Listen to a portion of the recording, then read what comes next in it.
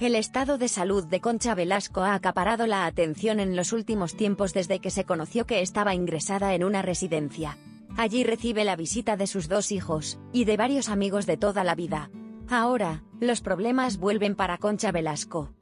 En las últimas horas, ha trascendido una noticia que nadie quería escuchar. Aunque Concha se encuentra muy bien arropada por sus hijos, hay una persona que echa mucho de menos, ya que no pasa por la residencia a visitarla. Se trata de Manuel Velasco, el hermano de Concha, que, según reveló Giorgio Aresu para fiesta, no va a verla. Han sido muchos los rostros conocidos que han visitado a la actriz en su residencia. Sin ir más lejos, Susana Uribarri fue la última en actualizar el estado de salud de la actriz a nivel público. No hay duda de que Concha Velasco tiene todas sus necesidades más que cubiertas. Además, la actriz se siente muy arropada por sus hijos. Pero hay alguien que le falta, una persona muy especial que no se digna a ir a visitarla. Se trata de su hermano, Manuel Velasco. Giorgio Aresu, director de televisión e íntimo amigo de Concha, confesaba en el programa Fiesta la noticia más dura y que nadie quería escuchar.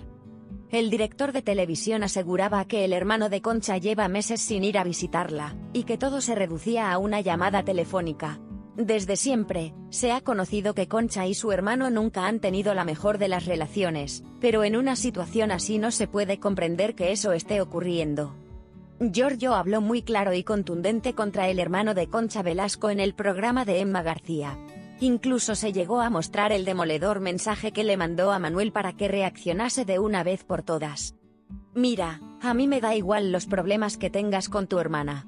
Te comenté que la última vez que hablamos que he visitado a tu hermana, le pregunté por ti y se le saltaron las lágrimas, señalaba. Ya veo que no me quieres coger el teléfono, no creí que fueras tan cobarde, replicaba.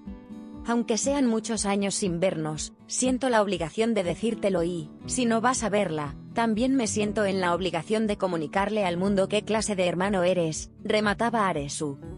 Unas palabras que dejaron boquiabiertos a los colaboradores de fiesta, ya que no daban crédito a que esto estuviese ocurriendo de verdad.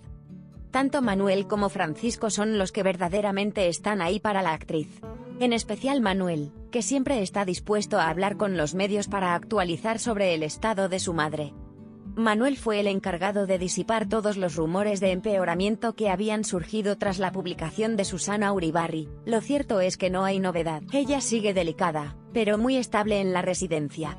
Todo está en orden, comentaba Manuel sobre el estado de su madre hace un mes. Ahora, con la noticia de que el hermano de la vedette no va a visitarla, la polémica ha vuelto a servirse.